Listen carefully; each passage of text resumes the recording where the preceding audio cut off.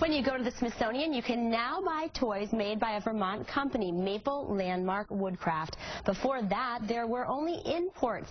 Senator Bernie Sanders brought the issue to light two years ago when he went Christmas shopping and could not find any American-made gifts at the Smithsonian.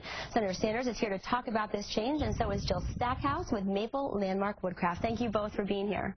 Pleasure. Well, I'm going to start with uh, Jill. You had been trying to get your products in this store for a while, but didn't have any luck. Um, it was difficult because there typically, you know, you can find anything you want online, you know, anything you want to know, but um, there was no good way uh, to contact anyone at the museum. There was no phone number, you know, no uh, navigation system, if you will. Um, I tried for a while. Smithsonian's a big place. Uh, didn't have any luck.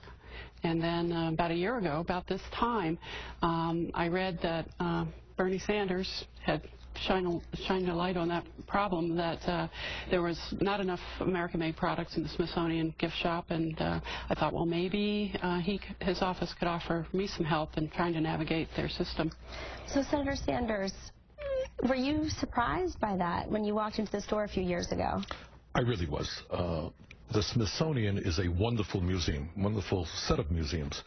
They talk about American history, American culture, and then you go to the gift shop, and it was very hard to buy made in the United States of America. So we ended up talking to the head of the museum, who was not unreasonable. We said, look, we could either introduce legislation to force you to do it, or you can do it voluntarily. And they wanted to work with us. And we're going to see, and we are seeing right now, a very significant increase in the amount of American-made products in all of their gift shops. So we're making some progress. And I'm delighted that uh, Maple Landmark is, is selling their very lovely toy uh, in, in the uh, gift shop. Do you want to show us what they're, they're selling? I think you might have one with you. Well, as a matter of fact, I do have their yo-yo right over.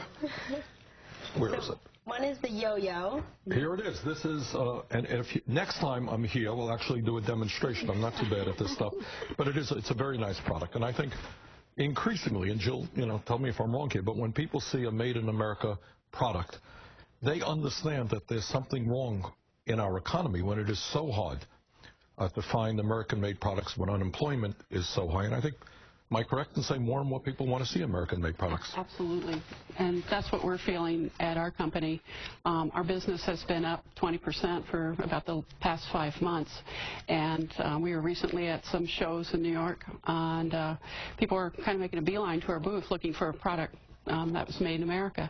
So, Senator Sanders, do you think there will be more made in America products at the Smithsonian? What was their hesitance to it?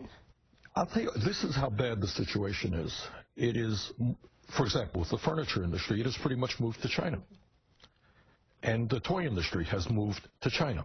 So if you want to buy furniture or you want to buy toys, the easy way out is to simply go to some distributor who deals with Chinese products. But if they have some initiative, and I think they're beginning to go out to various toy fairs and so forth, they can buy products made in America. It's a little bit harder, but they're trying to do it. We are also working with the uh, company that supplies gifts for the monuments, as well as the Veterans Administration. So more hope for Vermont businesses, maybe? Absolutely. And I want to thank you both for being here. Jill Stackhouse with Maple Landmark. You can now go to the Smithsonian, and see their yo-yos, and also this wood toy as well. And you heard from the store that it's already popular? Yes. Um, actually, I was uh, emailing the uh, my contact there yesterday, and she said, the strings, there's so many people playing with the yo-yos that the strings are, are getting tangled up. Can you shrink wrap them for us? I'm like, absolutely. So that tells me that there's there's some interest. I said, would you like them shrink wrapped now? She said, oh, for future orders. So that's that's that's good news. All right. Well, Jill Stackhouse, Maple Landmark, Senator Sanders, thank you both for your time. But up next, we're going to continue to talk with Senator Sanders about the big issues of the day in Washington and the impact on Vermonters. Stick around. Toyota